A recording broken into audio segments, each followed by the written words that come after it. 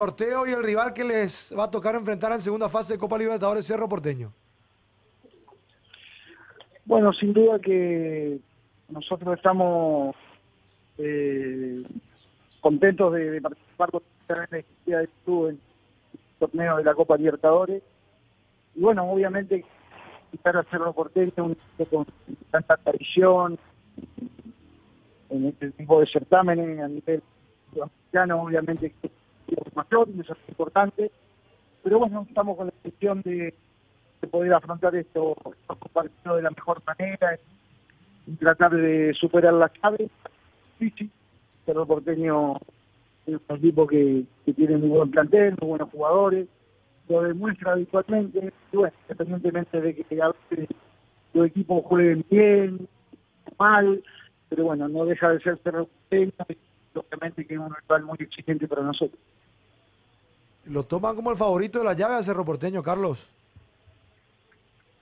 Sin duda, por todo lo que representa eh, uno de los equipos más grandes de Paraguay, obviamente que, es uno de los equipos llamado a ser protagonista en un, torneo tan importante como la Copa Libertadores.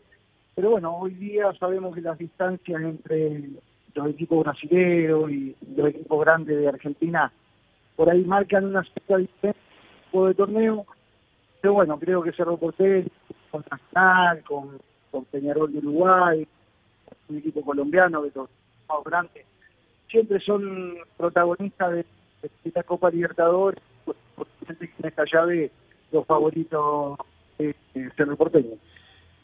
Eh, ¿Dónde jugarían de local, Carlos, eh, a nivel internacional? ¿No, ¿No van a poder jugar en el estadio del Curicó?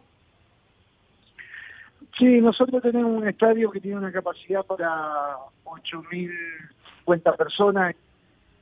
Y la primera llave la podríamos haber pero bueno, la distancia del aeropuerto de Santiago, una ciudad que queda al sur de Santiago, está a 190 kilómetros, por lo tanto no está el radio de 150 kilómetros del aeropuerto.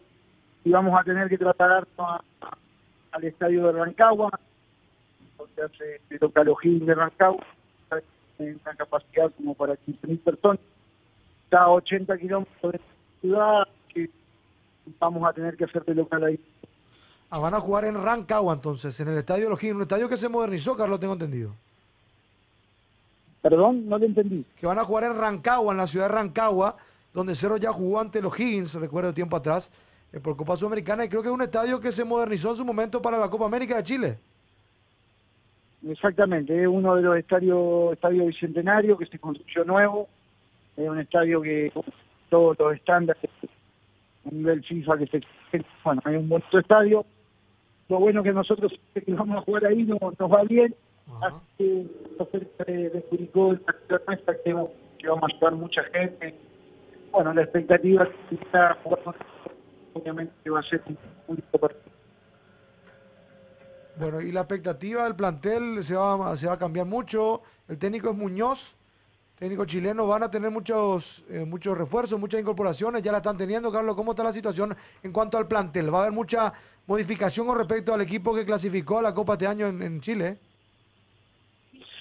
Sí, nosotros, bueno, se nos fue Juan Pablo Gómez, un chico que era lateral derecho, se nos fue a la Universidad de Chile. Eh, Rodrigo Gago, que era el centro delantero, se nos fue a Coquimbo Unido y Byron Oyarzo, que era uno de los extremos, eh, se de Chillán, el equipo que salió segundo en el campeonato y clasificó a, directo a Copa Libertadores. Y bueno, pero no, no, no se desarmó mucho el plantel, nosotros optamos por mantener la mayoría de los jugadores que, que, lograron este, este hecho histórico en, el club. Así que estamos tratando de aportar estas piezas no va a haber demasiada modificación del plantel.